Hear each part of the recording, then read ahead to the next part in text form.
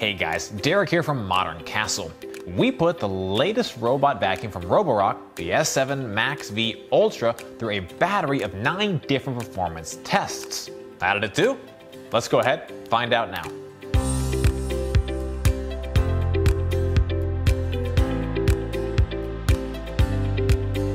This video is sponsored by NapLab.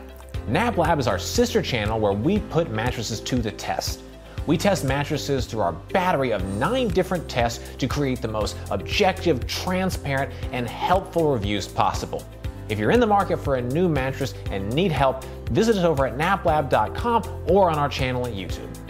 At Modern Castle, we test robot vacuums with nine different performance tests. These tests are designed to help us measure key factors related to cleaning, usability, and navigation. First up, our cleaning tests. To test the cleaning performance of the S7 Max V, we use four debris types on three different floor types. We run the vacuum on max setting over the floor and measure the amount of debris removed by weight. The S7 Max V did well in our test with an overall removal of 97.9% across all floor and debris types. On hardwood floors, the S7 Max V removed 99% of the debris, leaving behind only a small trace of sugar and kitty litter. The robot vacuum struggled the most on low piled carpet, albeit not by much. The majority of the remaining debris left was sugar and kitty litter.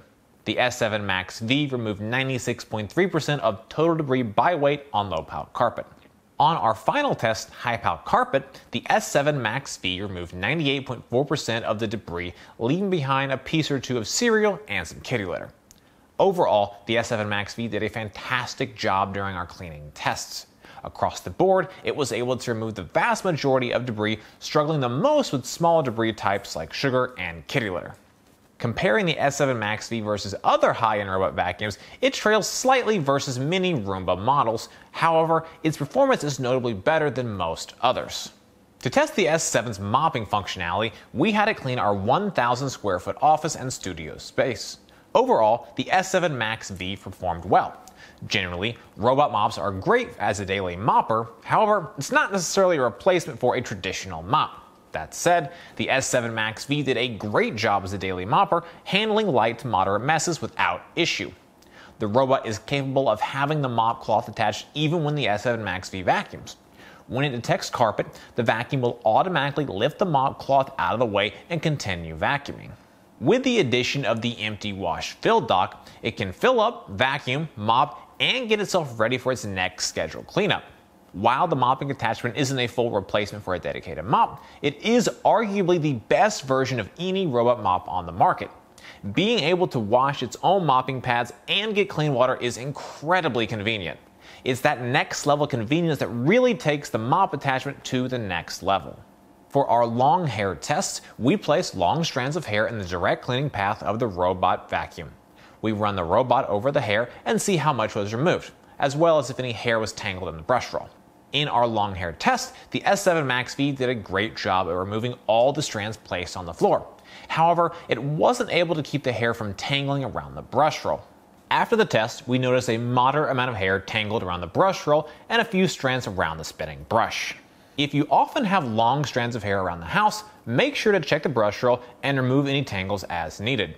Notably, the S7 Max V brush roll only utilizes a single brush as opposed to dual spinning brushes. This single brush roll design doesn't work as well at preventing hair tangles, which is the primary reason why I think we're seeing worse tangling here. Our pet hair test is similar to the long hair test. We place pet fur on high piled carpet and run the vacuum over the fur. We check to see how much was removed and if any pet hair was tangled. The S7 Max V was able to remove most of the pet fur we put in its path. However, I did notice some hair remained after running the test. The brush roll showed none of the hair was tangled in it, but it did look like some of the pet fur was statically stuck to the bottom of the vacuum. Our obstacle avoidance test checks how well the robot vacuum can avoid common obstacles found around your home during cleaning. The Roborock S7 Max V has multiple features that assist it in intelligently cleaning the floor. It comes with LiDAR on top, an RGB camera, and a light for navigation in dark areas. Roborock uses this hardware in tandem with the reactive AI to recognize and avoid objects. When the robot recognizes an obstacle, it will mark it on the in app map for you to check later. Additionally, the S7 Max V can take pictures of these obstacles with your explicit permission. To best test these features, we laid fake pet waste, a shoe, a sock, and a mug in the cleaning path of the S7. We ran the robot vacuum and tested to see if it could successfully navigate through these objects. I was impressed by the object avoidance of the S7 Max V. Our testing showed it was able to completely avoid the obstacles and continue cleaning around them. In addition, I also have been using the S7 Max V in my personal home for long term testing.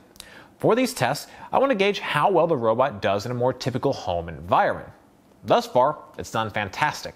I have two young children, bar stools with wide and skinny floor legs, power cords, pet toys, and plenty of other stuff for the robot to get stuck on. Only on one occasion have I found the robot stuck. It got caught on a fringy bath mat. Beyond that, nothing has posed any challenge to the S7 Max V. In a typical cleaning session, the S7 Max V identifies 45 to 50 obstacles in my home that it was able to avoid. Next, we test how well the S7 Max V was able to navigate and clean on a broader scale.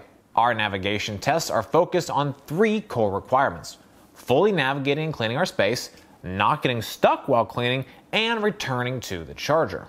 The S7 Max V successfully navigated our office and studio space without getting stuck and returned to the base. I was impressed with the navigation as our office space has numerous things that can trip up a robot vacuum, including cords, light stands, products for testing, long table legs, and videography equipment. The combination of LiDAR, RGB camera, and the structured light were able to work together to move around our space. During our long term daily cleaning tests, we let the S7 Max V clean our entire studio and my personal home. Thus far, only on one occasion has it found itself stuck. Beyond that one slip up, the robot never got stuck, always cleaned the full area, always returned to its charging base, and routinely avoided all obstacles. Our testing showed the Roborock S7 Max V was able to clean our 1,000 square foot office and studio space within 50 to 60 minutes. This is a great cleaning speed from the Max V. We find it to be a good bit faster than many other high end models in regard to cleaning speed, which is most likely a result of its navigational efficiency. Using the Roborock S7 Max V Ultra is fantastic. It comes with a plethora of features that effectively allow the robot to run on its own once it's been set up. Due to the inclusion of the empty wash filled dock, there is a degree of setup involved before you can use the S7 Max V. The robot itself comes partially charged, however, Roborock recommends fully charging the S7 Max V before your first use. Additionally, if you want to set up the empty wash filled dock, you will need to remove a small plate covering the air inlet on the vacuum itself. That being said, the Roborock S7 Max V is capable of running without the empty wash filled dock. Without it, you'll need to manually empty the dustbin and clean the mopping pads. Once the S7 is set up, it can be controlled via three buttons on the top. They can power the device, spot clean a small area, or return the vacuum to the base. For more options, the Max V Ultra can be connected to the Roborock app. The devices can be quickly connected via the in app instructions, and once connected, it provides a variety of features. These range from map management, custom scheduling, device control, and more. The app connectivity in tandem with the empty wash filled dock allows a user to effectively set up the S7 and forget about it. Keeping the Roborock S7 Max V running like new is easy with the empty wash filled dock because it does the majority of the work for you. The station automatically empties the dust bin, fills the water tank, cleans the mop cloth, and charges the vacuum. Of course, you can do these things without the dock, but it is a nice addition to have. This reduces the number of tasks needed to emptying and filling the water tanks, and replacing the debris bag as needed. The empty wash filled dock is large and will require some space on the floor. However, the added usability features more than make up for the size. More involved maintenance tasks like cleaning the brush roll or front wheel will need to be done by the user, but Roborock has made this relatively easy to do with the use of a few tools. For our noise test, we ran the S7 Max V on high pile carpet in each mode. We then measured the noise generated via a sound meter from about 3 feet away. Our testing showed the S7 Max V to have a noise range of 52 to 57 decibels while running. While using the empty wash filled dock, the noise is considerably louder. Here's what it sounds like in each mode.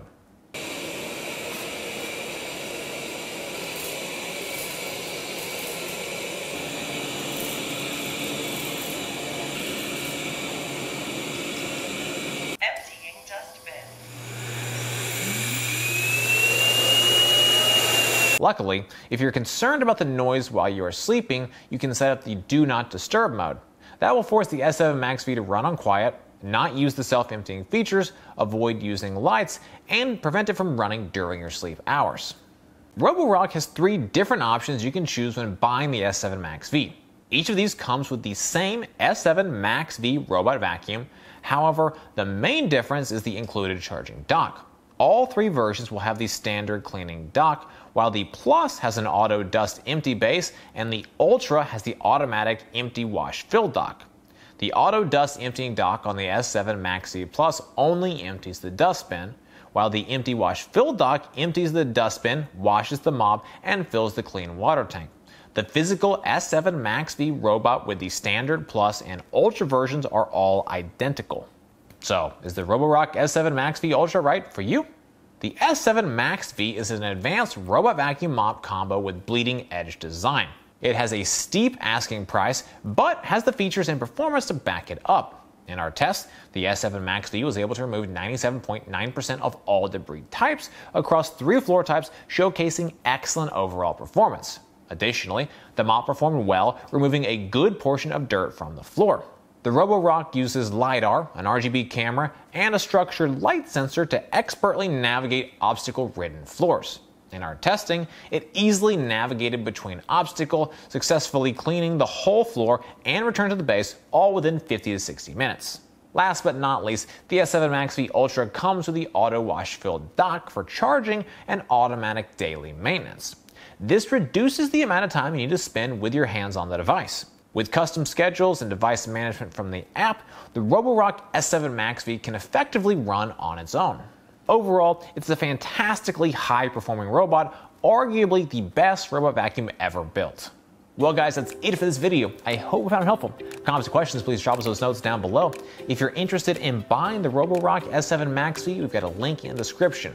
For more from Modern Castle, be sure to get subscribed, ring that bell, and visit us over at moderncastle.com.